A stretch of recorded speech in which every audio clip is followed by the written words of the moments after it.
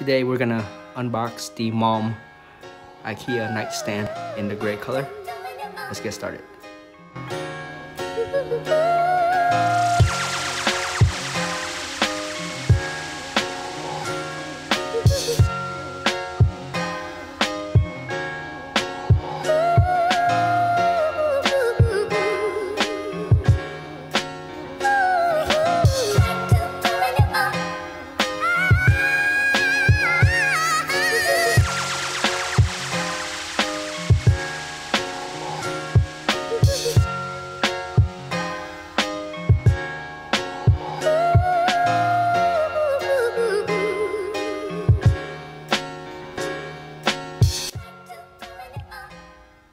All right, guys, all done.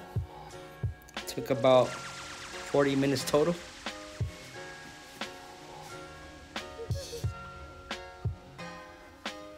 Gray is pretty nice. Decent amount of space in here.